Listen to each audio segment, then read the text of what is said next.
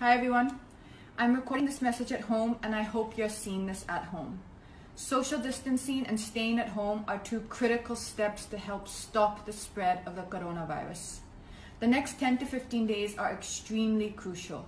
Please avoid all public places, public transport like trains and buses. We all must do our bit to help fight in this crisis. And please follow the instructions issued by the state government.